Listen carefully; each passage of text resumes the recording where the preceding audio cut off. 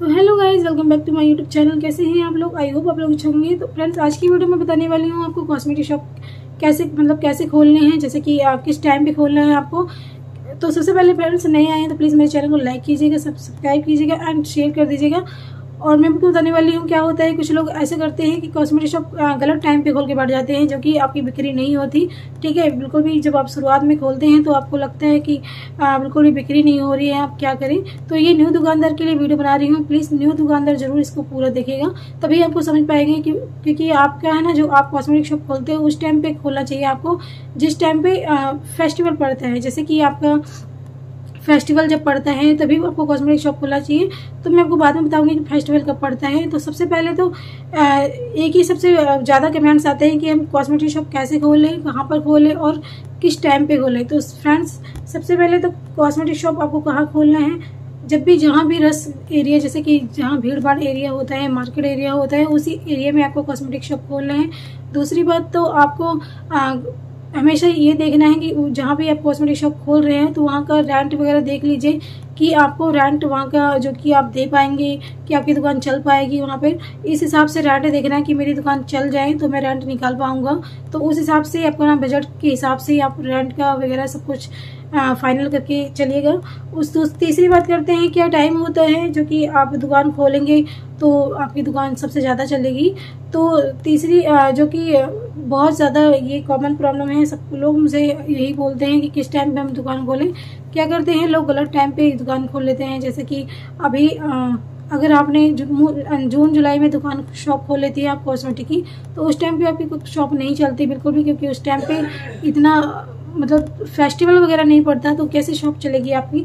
तो इस टाइम पे आप दुकान बिल्कुल भी मत खोलिए कॉस्मेटिक शॉप मत खोलिए जून, जुलाई, अगस्त में। तो अगर आपको खोलना है कॉस्मेटिक शॉप तो आप किस टाइम पे खोलेंगे? आप खोलिए सितंबर में। सितंबर या अगस्त में खोल लीजिए। अगस्त में भी बहुत ज़्यादा बिक्री होती है, जैसे कि रक्षाबंधन आता है तो रक्षाबंधन आता है, उसमें बहुत अच्छा सेल हो जाता है। तो अक्टूबर, अगस्त, अक्टूबर आपको अक्टूबर में सबसे ज़्यादा बिक्री होती है, क्योंकि करवा चौथ अक्टूबर से अक्टूबर में पड़ता है। तो इस वजह से आपको अगस्त और सितंबर में आपकी शॉप खोलनी है। जैसे कि कोई भी कॉस्मेटिक शॉप अगर खोलना चाहते हैं तो अगस्त और सितंबर के बीच में ही आपको खोलना है, क्योंकि करवा चौथ होती है। करवा चौथ में सबसे ज़्यादा सेल होती है। आपको पता ही होगा कि करवा चौथ में लेडीज़ का सारा सिंगार का सामान ज़्यादा बिकता है।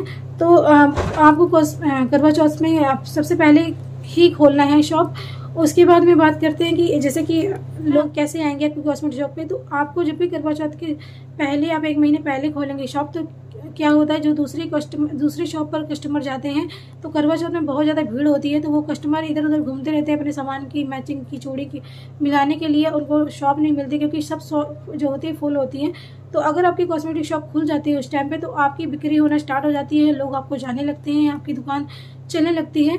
तो इस वजह से कॉस्मेटिक शॉप जब भी आप खोल रहे हैं तो अपनी करवा चौथ से पहले ही खोलिएगा, ठीक है? उस टाइम पे सबसे ज़्यादा बिक्री होती है और आप लोगों को जब कस्टमर एक बार जब बन जाते हैं तो वो बार बार आपकी कॉस्मेटिक शॉप पर आते हैं। तो यही तरीका है आपकी कॉस्मेटिक शॉप पर बुलाने का, जो कि करवा चौथ में सबसे ज़्यादा भीड़ होती है। इस टाइम पे जो भी लेडीज़ हैं, बहुत सामान लेके जाती हैं, जो कि बहुत ज़्यादा बिक्री भी होती है, क्योंकि कॉस्मेटिक का सामान सबसे ज़्यादा बिकता है। इस टाइम पर जो कि अपना सामान है, आप जो कि मेकअप से प्रोडक्ट जैसे कि हेयर एसेसरीज चूड़ा चूड़ी ये सब अपनी कॉस्मेटिक शॉप पर सबसे ज़्यादा भर लीजिए।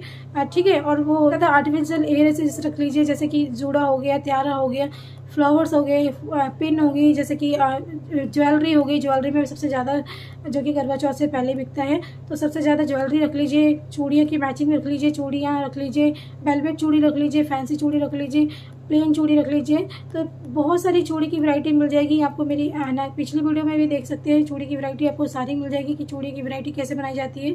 उस उस पर भी देख सकते हैं आइटम्स होते हैं आर्टिफिशियल वो आपको अपनी कॉस्मेटिक शॉप पर जो कि आप खोल रहे हैं अगस्त, सितंबर में तो इन सबको ज़्यादा भरना है, ठीक है?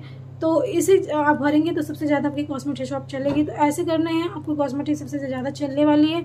तो यही टाइम है आपका कॉस्मेटिक शॉप खोलने का। अभी खोल लीजिए, भले ही आपके पास कम बजट है तो किसी भी तरह खोल सकते हैं। इसी टाइम जो है आपकी कॉस्मेटिक सब ज़्यादा चलेगी। तो नेक्स्ट वीडियो में तब तक अपना ध्यान रखिए और मेरे वीडियो को प्लीज़ लाइक ज़रूर करिएगा एंड सब्सक्राइब कीजिए। Thank you